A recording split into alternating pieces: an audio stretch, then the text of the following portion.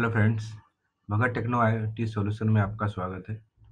आज हम आपको एक नए वीडियो के साथ आए हैं, जिसमें रेलवे साइट के टेंडर्स का रजिस्ट्रेशन कैसे करते हैं। रेलवे साइट का tenders I R E P S website से, जहाँ से हम उसका टेंडर भर भी सकते हैं और वहाँ पे रजिस्ट्रेशन कर कर सकते हैं। तो आज के टॉपिक्स में हमारे पास सिर्फ़ ओनली रजिस्ट्रेशन का है, जहाँ पे हम टेंडर भरने से पहले जो रजिस्ट्रेशन का पार्ट होता है, वो रजिस्ट्रेशन कैसे करेंगे। तो सबसे पहले रजिस्ट्रेशन के लिए हमारे डॉक्यूमेंट्स क्या क्या लगेंगे? तो डॉक्यूमेंट्स क्लास थ्री का डिजिटल सिग्नेचर लगेगा, वो भी ऑर्गेनाइजेशन का। बहुत लोग इंडिविजुअल का निकालते हैं इंडिविजुअल का नहीं लगता है। ऑर्गेनाइजेशन का लगेगा जीएसटी लगेगा एड्रेस प्रूफ पैन कार्ड और कोई भी एनी प्रूफ ऑर्गेनाइजेशन का। जहाँ पे उद्योग आधार भी चलता है, जिसको एमएसएमई बोलते हैं, या फिर उद्योग आधार के नाम पे बोलते हैं। क्लास थ्री में जो मेन चीज़ है वो डिजिटल सिग्नेचर है। यदि आपके खुद के नाम पे रजिस्ट्रेशन है, खुद का ही नाम पे आपको रेलवे का टेंडर भरना है तो खुद के नाम पे ही ऑर्गेनाइजेशन का डिजिटल सिग्नेचर निकालना है, क्लास थ्री का साइन प्लस इंक्रिप्शन दोनों ये आपका बेसिक है और आगे जाने के बाद आपको वही साइट पे आपको दो फॉर्म मिलेंगे, जो तो फॉर्म डाउनलोड करके आपको लेटर हेड में प्रिंट करके आपको अपलोड करना है। तो हम डायरेक्ट वेबसाइट पे आते हैं।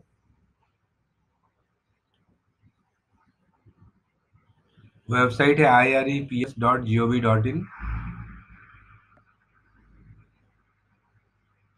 Indian railway का ई प्रोक्योरमेंट सिस्टम है I R E P S बोलते हैं। यहाँ पे मैं सेकेंड नंबर ऑप्शन टेंडर पे आता हूँ। यहाँ पे ई टेंडर बोल के है तो ई टेंडर पे जाता हूँ। जैसे आता है, यहाँ पे देखिए, नहीं है। क्लिक हेयर न्यू रजिस्ट्रेशन के लिए ऑप्शन है। तो हम पहले वाले पे क्लिक करते हैं और प्रोसीड पे क्लिक करता हूँ। जैसे यहाँ पे रन कर देंगे, क्योंकि ये जावा का हमारे सिस्टम का प्रॉपर सेटिंग हो चुका है। आपके पास यदि सेटिंग नहीं है सिस्टम में या प्रॉब्लम्स आ रहा है तो हमारे आप सेटिंग का वीडियो देख सकते हैं। यहाँ पे आपको सेटिंग्स का वीडियोस मिलेंगे। यहाँ पे हमने जैसे डाल दिया। मुझे यहाँ पे पिन आ रहा है। ये पिन अपना डीएससी का होगा। डीएससी का पिन करके ओके करेंगे। वैसे ही मेरा वेबसाइट्स मुझे ओपन हो जाएगा। यदि आपके सेटिंग में कोई भी प्रॉब्लम हुआ तो ये वेबसाइट आपको ओपन नहीं होगा। यहाँ पे आपको बेसिक प्रूफ बेसिक डिटेल डालना है, जैसे आपका नाम कंपनी का नाम, आपके address pin code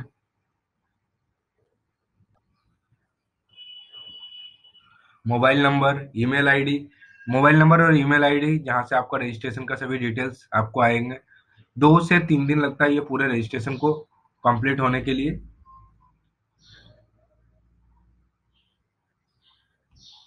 यहाँ पे मैं अपना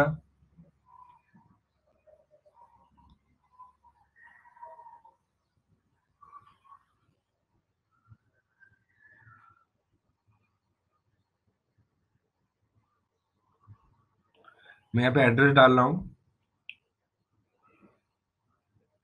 सभी details email ID mobile number डालने के बाद इसको हम नेक्स्ट कर देंगे। ये अलग अलग फॉर्म देखिए, ऊपर में आपके पास है। ये अलग अलग फॉर्म के साथ आपको निकलना पड़ता है। सभी फॉर्म्स को आप जैसे ही फिल करेंगे।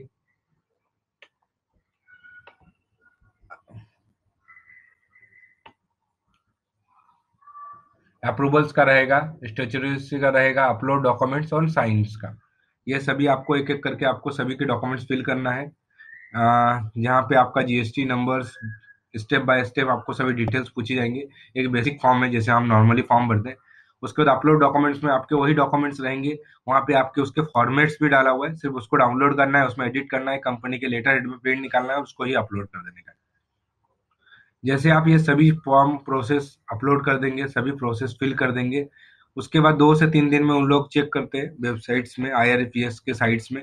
और सभी डॉक्यूमेंट्स उनको सही लगा। तो आपको दो से तीन दिन में आपको आईडी और पासवर्ड सेंड कर देते हैं, जिससे आप यही डिजिटल सिग्नेचर के साथ वहाँ का आप टेंडर भर सकते